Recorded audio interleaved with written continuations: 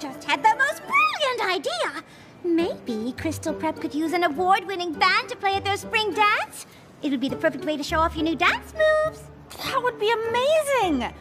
Of course, then we'd have a new dilemma to deal with. Oh no, what? Figuring out what we're all gonna wear. Oh, I already have some ideas that I'd be willing to share. Me too!